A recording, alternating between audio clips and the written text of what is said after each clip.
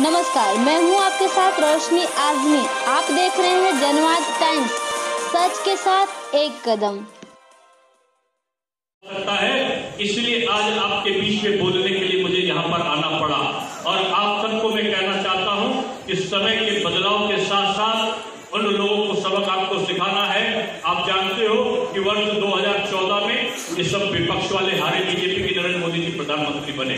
2017 में योगी जी मुख्यमंत्री बने, ये सब हार गए।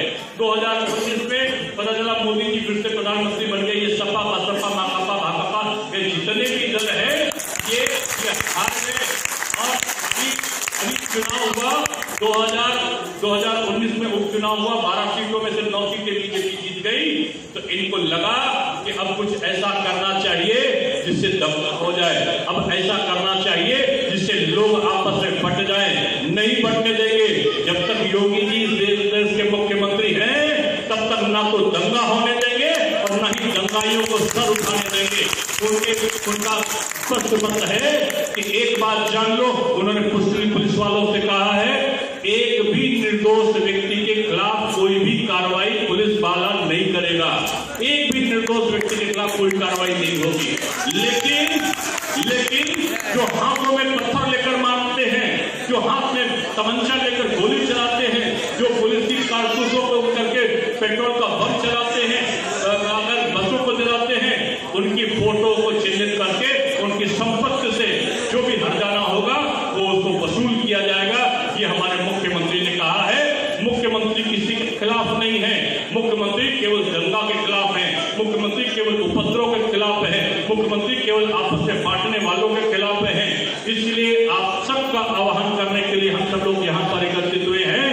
हम संकल्प लेकर जाना चाहते हैं कि हम आज से घर घर एक जागरण कार्यक्रम को प्रारंभ करेंगे। हमारा जागरण कार्यक्रम क्या होगा कि हम इस देश के नागरिक हैं हम शपथ लेते हैं कि इस देश की मजबूती के लिए जितना काम होगा, उसको हम पूरा करेंगे और पूरा करने के बाद इस देश को एक रखने के लिए, अपना सर्वस्व निछावर करने के लिए हम तैयार हैं। और प्रधानमंत्री और गृह मंत्री ने जो काम किया है, इन लोगों के पेट में दर्द तो यही से शुरू हो गया। लोग कहते थे कि पहले कहते थे कि बीजेपी वाले झूठ बोलते हैं लोग कहा झूठ क्यों बोलते हैं बोले कहते धारा 370 हटा देंगे अरे धारा 370 हट गई तो खून की नदियाँ बह जाएँगी काश्मीर भारत से चला जाएगा और पता नहीं क्या क्या हो जाएगा। ये सारा कुछ ऐलान विपक्ष के लोग किया करते थे। लेकिन धारा 370 मोदी जी दूसरी बार सत्ता में आते ही पहला काम उन्होंने किया कि यहाँ पर जो हमारी मुस्लिम बहनें अधिकार से वंचित थी, उनको ट्रिपल तलाक का जो मसला था, उसे मुस्लिम बहनों को अधिकार देने का काम हमारे देश के प्रधानमंत्री ने किया। उसके बाद दूसरा सबसे बड़ा काम किया, उन्होंने कहा कि हम वोट की राजनीति नहीं करना चाहते। और उन्होंने 24 घंटे के अंदर चुटकी बजाकर उन्होंने कहा कि देखो तुम तो कहते थे खून की नदियाँ बह जाएँगी, खून की एक बूंद भी नहीं बही और जम्मू और कश्मीर भारत में उसी तरीके से विलीन हो गया। जिस प्रकार से वो हर देश के अंदर राज्य चला करते हैं। जम्मू में भी भारत का एक ध्वज चलेगा। संविधान चलेगा जम्मू में भी अब अब वहाँ पंचायत के चुनाव होंगे।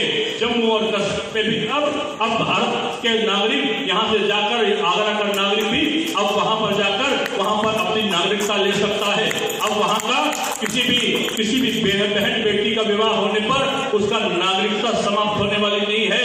अब उसकी नागरिकता और उसके पति की नागरिकता भी अब बहन की बन जाएगी ये जम्मू और कश्मीर में कर कर दिखाया ये दोनों की जोड़ी थी वो थे मोदी और वो थे अमित शाह जी दोनों ने कर कर दिखाया उसके बाद लोग कहने लगे कि आप साहब ये कहते हैं कि, कि जहाँ हुए बलिदान मुखर्जी वो कश्मीर हमारा है तो कश्मीर तो इन्होंने अपना कर लिया।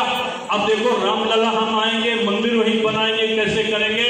ईश्वर की अनुकंपा देखो सुप्रीम कोर्ट का निर्णय देखो मोदी जी की सहनशीलता देखो और योगी जी का प्रशासन देखो सबने मिलकर एक पत्ता भी नहीं फड़का और पूरे प्रदेश में एक सर्वसम्मत सुप्रीम कोर्ट का निर्णय विपक्ष को लगा, विपक्ष को लगा कि ये तो सारा काम करते जा रहे हैं। इनको रोको रोको, नहीं तो ये मोदी जी और शाह जी तो कुछ बचा रहने ही नहीं देंगे बोलने के लिए।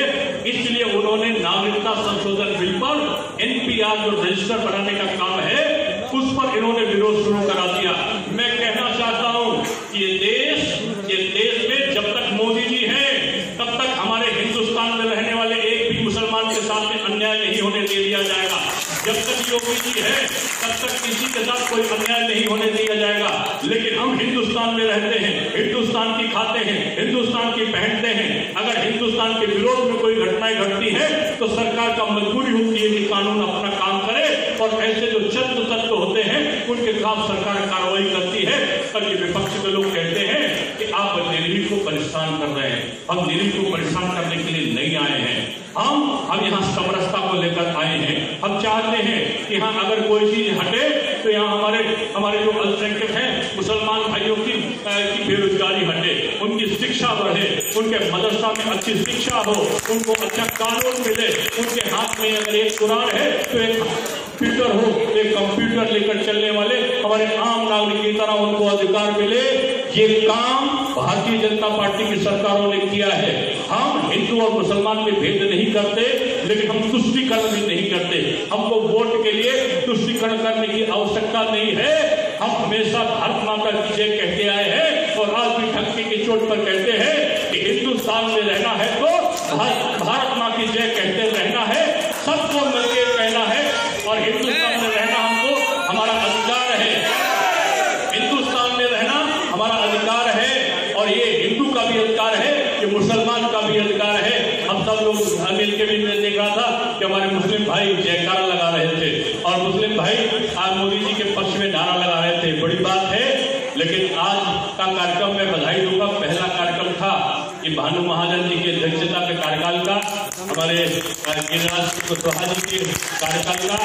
मैं यहाँ के लोगों को बधाई दूँगा कि आपने इतने कल तय हुआ परसों सुबह तय हुआ और एक दिन के अंदर इतनी भारी संख्या में आप लोग आ गए पाँच दस जगह दस जगह बारह जगह हम लोगों का संपर्क भी हो गया वेल ऑर्गेनाइज जिसको कहते हैं अच्छा संगठित कार्यक्रम के तौर पर आपने करके ये सिद्ध कर दिया कि आज आज जिस प्रकार से हमारे हमारे मुस्लिम मुस्लिम महिलाएँ मिली, उन्होंने कहा कि आपने तीन तलाक अच्छा लगा दिया और उन्होंने फूल देकर स्वागत किया, मोदी जी के बाद उसमें नारे लगाए। आगे चले तो सिंह के परिवार के लोगों ने बताया कि किस प्रकार से वो लौट कर आए थे, पाकिस्तान से उन पर अत्याचार हुए।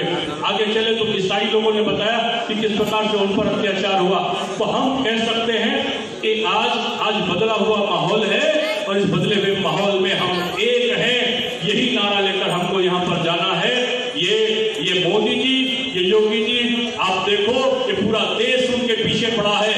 ये ये जितने दल हैं ये दलों के साथ साथ ये पाकिस्तान से लेकर ये अमेरिका और चीन तक का आज मोदी जी को आपको नहीं सुहा सकता, कि उनको आज देखना नहीं चाहता। लेकिन ये कार्यकर्ताओं का बल है, ये आप ऐसे लोगों का संयम है कि आज मोदी जी और योगी जी काम करते जा रहे हैं। इसलिए मैं आप सबको धन्यवाद देते हुए अपनी बात को यहीं पर विराम इसलिए देते हूँ कि आपने इतनी बड़ी संख्या में यहाँ पर आए मैं फिर से आपसे पूछूँगा अगर आप समर्थन में हो तो फिर से आप जोरदारी से हम समर्थन में हैं कहते हुए हाथ उठाएँगे आप सीए के समर्थन में हैं नागरिक संशोधन बिल लगना चाहिए नागरिक संशोधन बिल लगना चाहिए देश में एकता होनी चाहिए हिंसा नहीं होनी चाहिए हिंसा नहीं होनी चाहिए हम मिलकर रहेंगे अगर मिलकर रहेंगे तो ये जितना अगड़ा पिछड़ा हिंदू मुसलमान सब मिल जाओ।